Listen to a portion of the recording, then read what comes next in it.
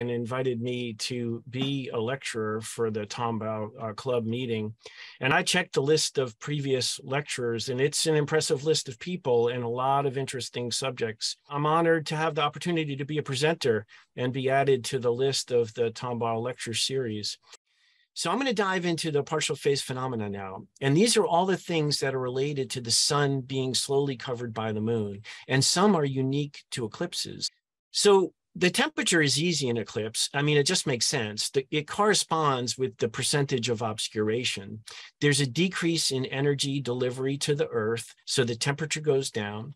The temperature doesn't have to be the lowest during totality. It can actually drop a little bit more after C3. And then there'll be a recovery delay. The temperature doesn't go immediately up because the Earth has to start to reabsorb radiant energy all of the energy that comes through the sun travels through space, but about 50% of it gets either absorbed or reflected by the atmosphere. So only about 50% of it is what gets absorbed by the earth to change our ambient temperature at ground level and affect uh, weather. And it's a fun thing to do to take temperature at the partial phases. And students can do it just with a scientific grade uh, liquid uh, thermometer. You can do it with a data, an electronic thermometer or, or a data logger as long as it's based on a probe. I've done it in two eclipses with this device called the Thermochron iButton, which you program with a computer to turn on during eclipse time, take data, and then shut off. And then don't make the mistake I made in 2017, which is this picture right here. My iButton wouldn't work in 17. I didn't have enough time to get a new one. So I bought, quickly went out and bought a, a data logger. And the mistake here is this data logger has too much thermal mass. So the little sensor that's in the top doesn't have enough time to respond to the changes of the eclipse uh, temperature changes because there's so much heat um, uh, you know, retained by the mass of the of the device. So that's a mistake. You have to do something with a low thermal mass.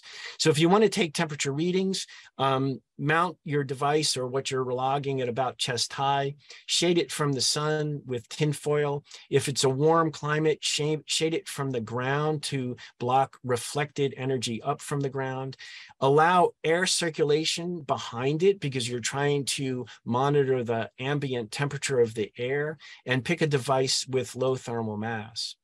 And so you can have students or, or kids plot the eclipse. They can take a temperature about every five minutes, have them plot temperature versus time, uh, write down the contact times. And the data they're trying to get is what is the maximum temperature drop and what is the temperature recovery lag, the time it takes to start rising again.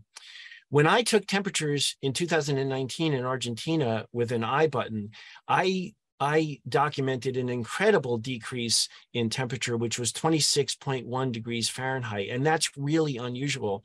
Usually the temperature will be, the drop will be between 10 and 15 degrees.